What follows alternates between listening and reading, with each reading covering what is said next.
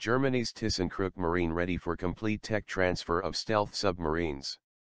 German conglomerate ThyssenKrupp Marine Systems is banking on its vast experience in design and construction of submarines and the fact that it has delivered subs for coastal and blue water deployment to the navies of 19 countries, to help deliver India's next-generation submarines, the P-75I. The Indian Navy had recently flagged off the next stage of P-75I, by issuing Request for Information, RFI, to foreign original equipment manufacturers, OEMs.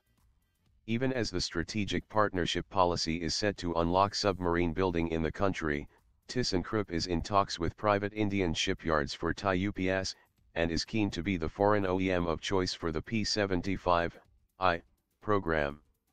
The German submarine specialist had recently landed a contract to modernize two Indian Navy Type 209-1500 submarines.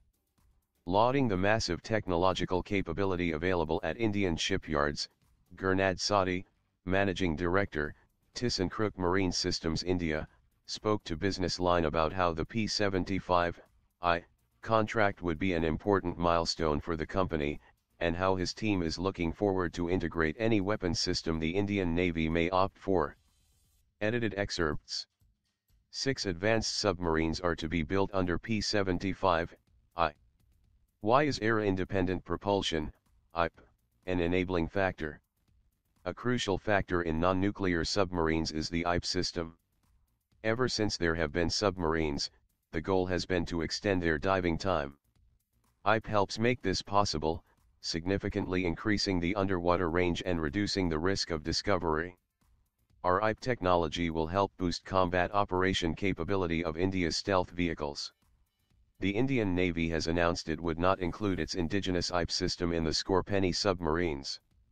How can you compete with other foreign OEMs with the IP technology? Most OEMs do not have a proven technology. The German IP is the only proven IP in the world at present, and is actively being used by many navies worldwide where our boats are operating.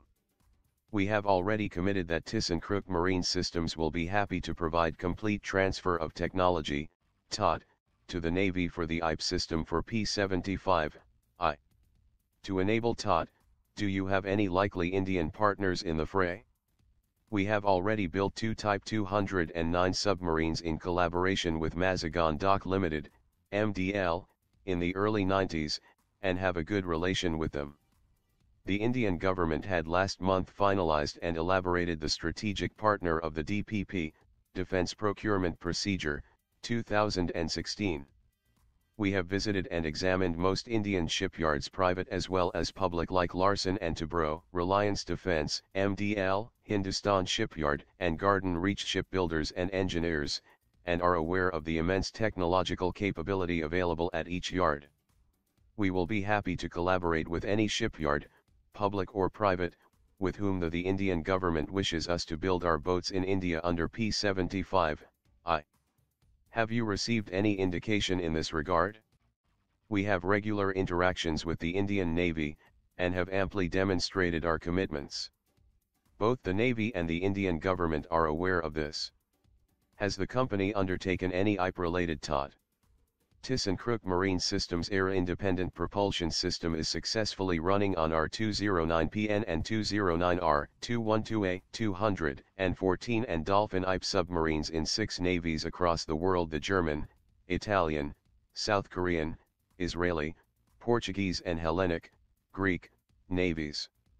This technology has been exported, and is presently being used for the manufacture of 3 plus 6 Type 214 submarines under construction, with complete TOT in South Korea, in collaboration with Hyundai Heavy Industries. Thank you for watching. Please like and subscribe.